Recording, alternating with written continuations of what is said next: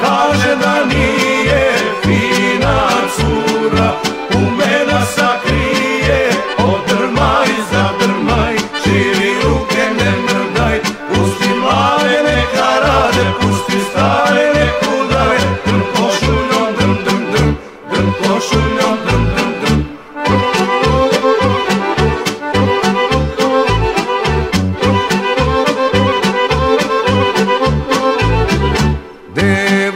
kayıp